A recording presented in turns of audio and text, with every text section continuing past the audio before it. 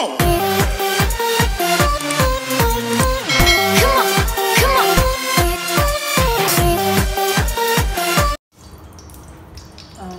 guys, magluluto po tayo ng ginisang spinach. Kailangan natin ng bawang, sibuyas, at saka yung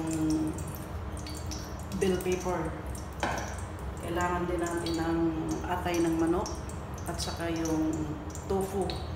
Ano na po, ano na to, yung pinirito ko na at saka nilaga ko yung manok, yung atay ng manok kasi pag pag fresh yung ilagay mo dito yung manok na hindi mo palaga ilaga siya medyo malangsa. Kaya yun yung ginagawa ko lagi i ano ko man pakuluan yung manok tapos doon na hiwa-hiwain. At saka kailangan natin ng yung spinach. Ito, nagpainit na ako ng mantika. Start na tayo. damihan lang natin yung bawang para ma- masarap yung ano niya. Maglasang bawang.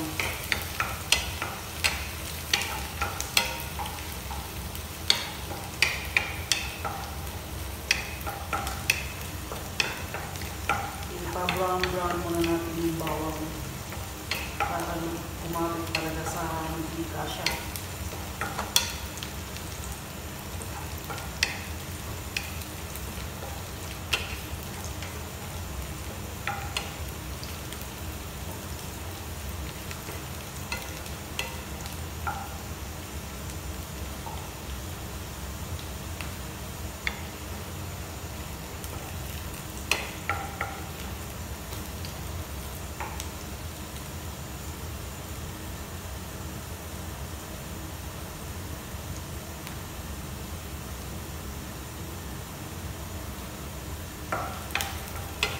Ayan, nag-brown na yung ano, bawang.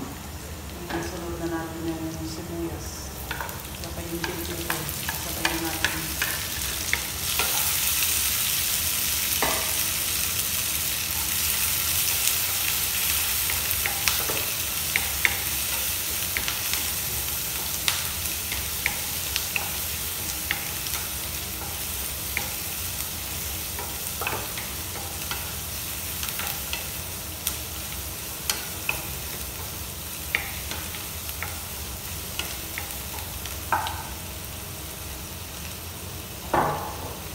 Kailangan din pala natin ng oyster sauce.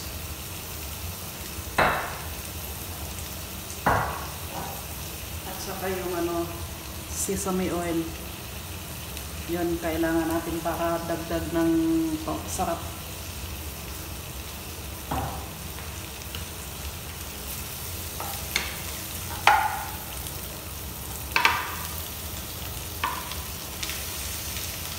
Lagyan na natin yung dalawa.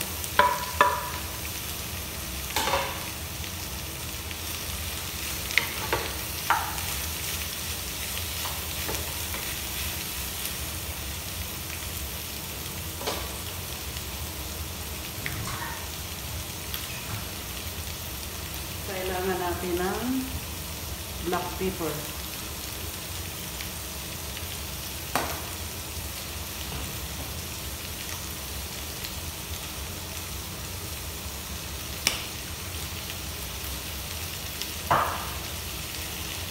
Saka tansyahin lang yung oyster sauce din.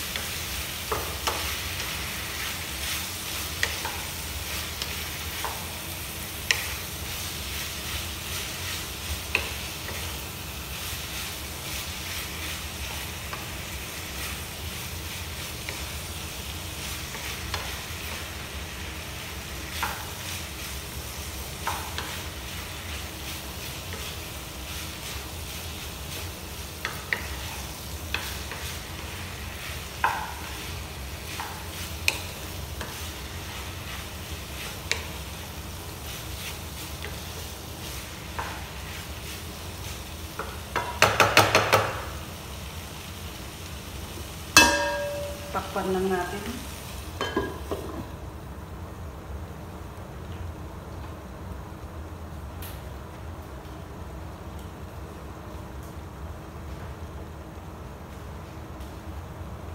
At maglagay tayo ng tubig.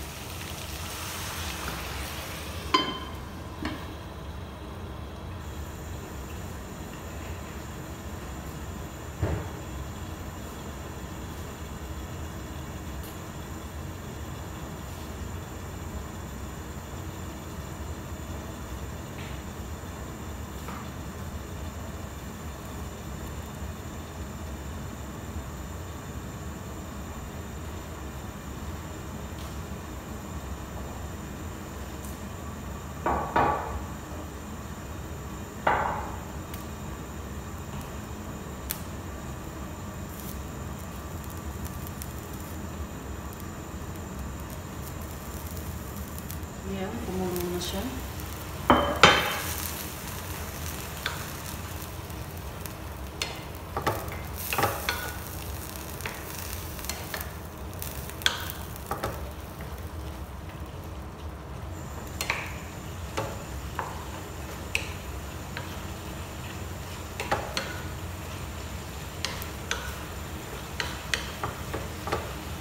Dagdagan pa natin ang tubig.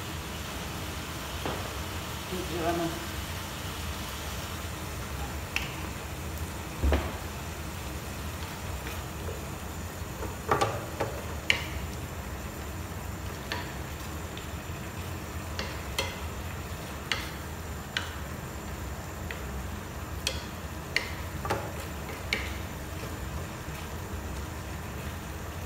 Dagdagan pa ulit medyo konti yung tubig niya para may sabaw-sabaw tayo.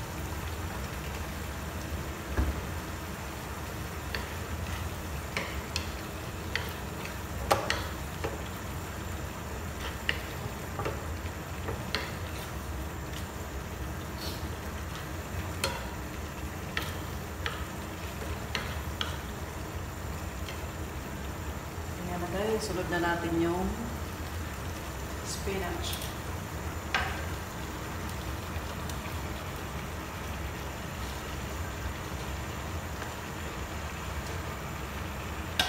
Hiniwa-hiwa ko na pala yung, ano, yung damo ng spinach para pagkain ng anak ko, ano na siya, hindi na mahirap mo yan eh.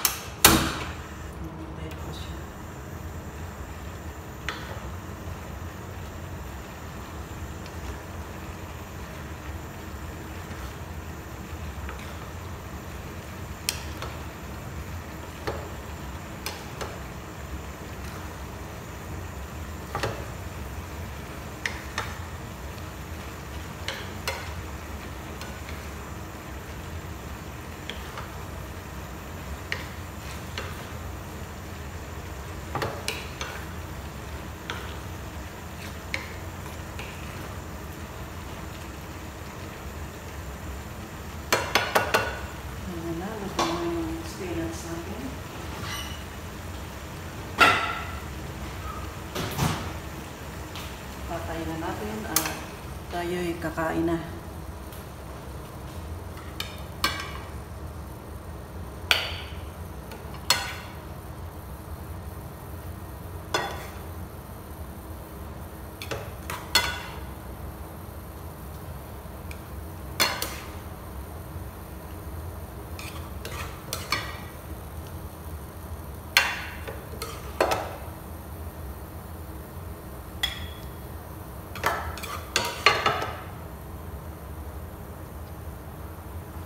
Ito na pa- pala yung ano natin. Ito na yung ah, spinach natin. Ayan. Sarap na siya. Bye! Kung hindi pa kayo nakasubscribe sa channel na ito, paki-like na lang at subscribe. Salamat. God bless us all.